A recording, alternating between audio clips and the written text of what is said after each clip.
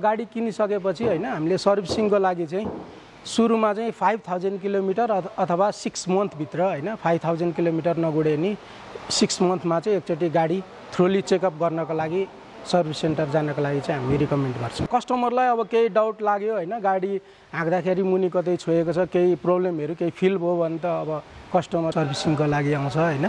सर्भिसिङको लागि आएपछि सबभन्दा पहिला हाम्रो चाहिँ सर्भिस एडभाइजरहरूले उहाँहरूलाई एप्रोच गर्नुहुन्छ। त्यसपछि के के समस्याहरू छ गाडीमा होइन? त्यसको त्यो चाहिँ हामीले टिप्छौँ। जब कार्ड ओपनिङ हुन्छ जब कार्ड खोल्छौँ होइन?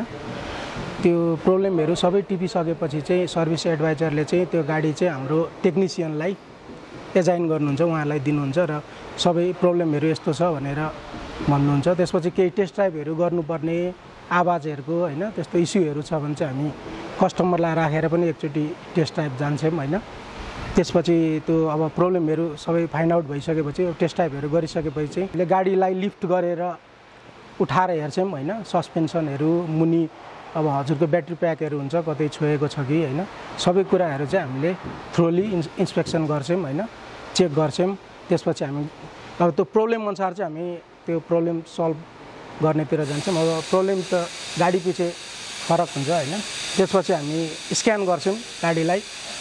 केही अब मोडुलहरूमा केही प्रब्लम छ कि भनेर गाडीलाई स्क्यान गर्छौँ। स्क्यान गरिसकेपछि चाहिँ अब सबै प्रब्लमहरू सल्भ गरिसकेपछि एसी फिल्टरहरू क्लिन गरेर हाम्रो वासिङमा चाहिँ जान्छ गाडी। त्यस्तो त हजुरको अहिले आइलहरू चेन्ज गर्नुपर्ने त हुँदैन होइन? अब एसी फिल्टरहरू एसीको फिल्टर हुन्छ त्यो फोहोर छ भने चाहिँ हामीले सफा गर्ने अथवा नयाँ रिप्लेस गर्ने। नर्मल सर्भिसिङमा त गाडीको ओभरअल सबै हामीले चेकअप गर्ने हो सस्पेन्सनहरू ब्याट्री हेल्थहरू हेर्ने हो होइन? यस्तो हुन्छ। अब डिजेल पेट्रोल गाडीमा भनेको हजुरको अब मोबिलहरू चेन्ज गर्नु पऱ्यो होइन?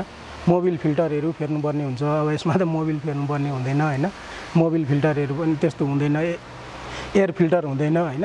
अब डिफ्रेन्ट त डिफ्रेन्टै हुन्छ। अब सस्पेन्सनहरू त एउटै भयो हजुरको। पेट्रोल गाडीको सस्पेन्सन पनि त्यही हो इलेक्ट्रिक गाडीको सस्पेन्सन पनि त्यही हो। पेट्रोल गाडीहरू जस्तो अब धेरै कस्ट चाहिँ आउँदैन हजुरको सर्भिसिङमा केही सामान फेर्नु पऱ्यो भने चाहिँ लाग्यो तर पिरियडिकली सधैँ मोबिल फेर्ने मोबिल फिल्टर फेर्ने जसरी चाहिँ खर्च आउँदैन। एक घन्टादेखि डेढ घन्टा चेकअप गर्नलाई लाग्छ। केही प्रब्लम छैन।